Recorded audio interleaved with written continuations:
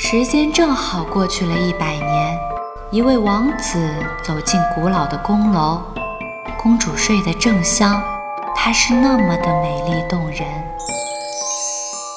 王子忍不住俯身亲吻了公主，就这一吻，公主一下子苏醒了。我需要和你交易，啊我需要和你接吻。什么？神经病！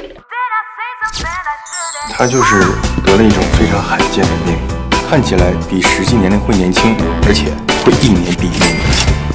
陆纷纷的吻才能缓解他的症状。凌晨，为了活命，我们要抓紧时间。我要随时随地找到你。你为什么要背着我跟别的男人相亲？你的眼睛真好看。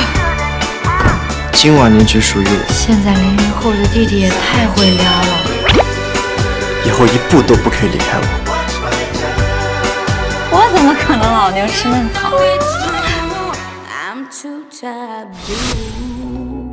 明晨，我有个想法，我想试试我的吻。